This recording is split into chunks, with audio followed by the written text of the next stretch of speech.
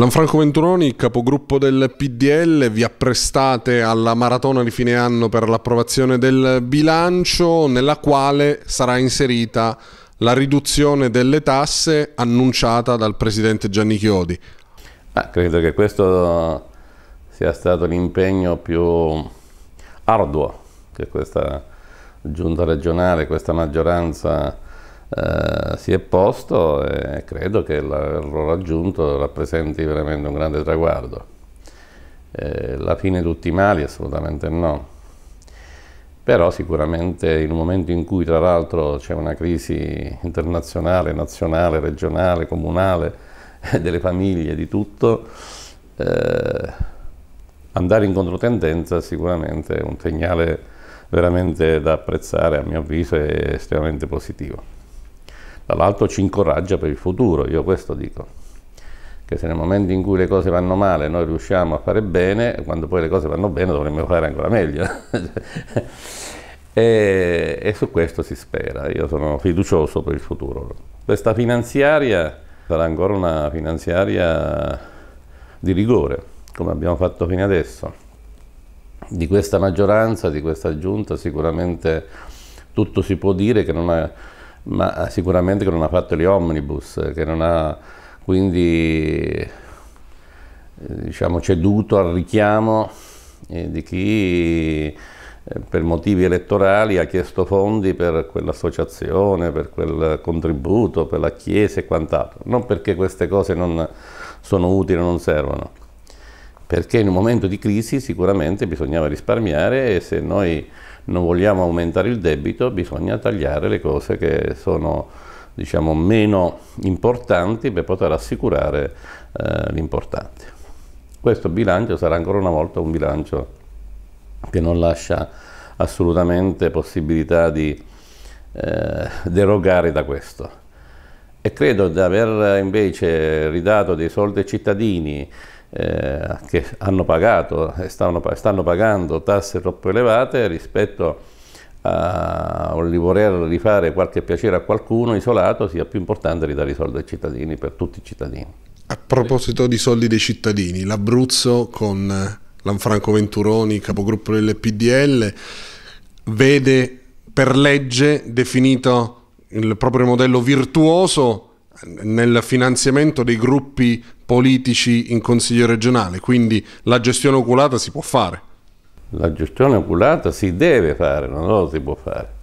Si deve fare e penso che la politica debba dare il primo esempio. Io sono eh, contro il populismo che dice che il politico non deve guadagnare nulla, che è tutto gratis e così via, perché poi alla fine così non è, la politica eh, costa, costa sia in termini di impegno, perché se uno veramente vuole fare politica lavora più di altri che fanno le otto ore al giorno, perché la politica non ha orari, se vuole fare veramente politica ci si impegna. Ma io dico che come tutti i lavoratori di questo di questo mondo devono avere delle regole, regole certe sia per il lavoratore che il datore di lavoro, sia quindi per lo Stato che per il politico che fa attività politica.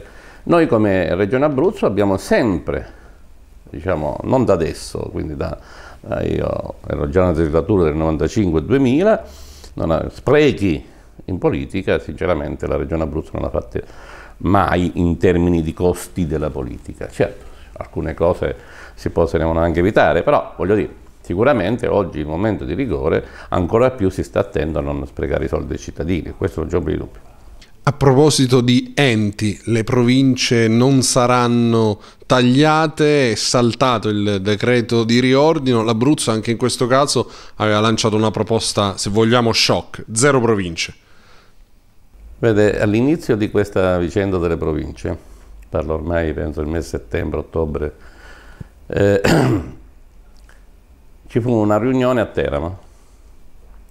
Io feci un intervento come al solito sintetico di un minuto o due e dissi che a mio avviso le province non avevano le, diciamo, non c'erano i termini oggi per poter fare questo accorpamento delle province. Che il nostro programma era abolire le province, quindi o si andava all'abolizione delle province, altrimenti non se ne faceva nulla. Che la proposta, prima ancora che fosse fatta dal CAL, sarebbe stata l'Aquila Teramo e Chieti Pescara e che comunque questa cosa non andava in porto in questa legislatura. È avvenuto quello che abbiamo detto, che avevo previsto, se vuole ci sono le registrazioni, eh, all'inizio di tutto questo casino che c'è stato sulle province. Io insisto, fortunatamente le cose sono andate così, perché non c'è, ripeto, non c'è nessun risparmio, se non anzi disagio dei cittadini, quello di aver fatto l'accorpamento delle province. Le province come ente va eliminato, tengo da ridire e spero che la prossima legislatura questa storia si risolva in maniera giusta e non pasticciata come adesso. Prossima legislatura si voterà a questo punto con il Porcellum nel 2013, salvo improbabili colpi di scena, ma bisogna decidere quali sono gli schieramenti e le forze politiche in campo nel centrodestra. Il PDL avrà un futuro, secondo Lanfranco Venturoni?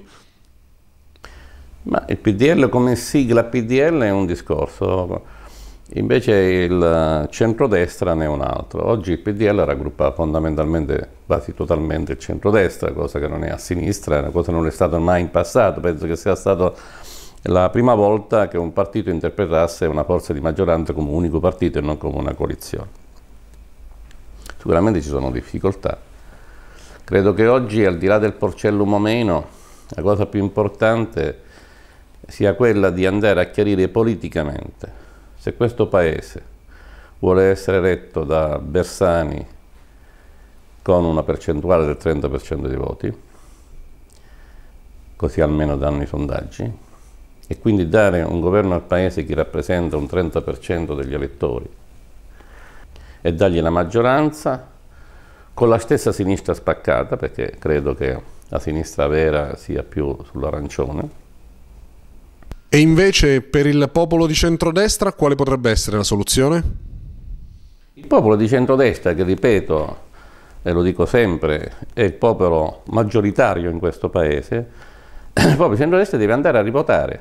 A rivotare che cosa? A rivotare una coalizione un, e soprattutto chi guida questa coalizione che sia credibile e che dia speranza e certezza di governo a questo paese. Ora questo signore si chiama Monti, si chiama Berlusconi, si chiama Alfano, si chiama chi, chi ci pare.